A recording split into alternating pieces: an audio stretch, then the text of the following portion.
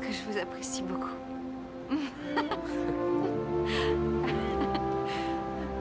oh mince, d'accord. Euh, là, je dois y aller et... Ouais, je comprends. Ah oui. D'accord, c'est normal. Un de ces jours,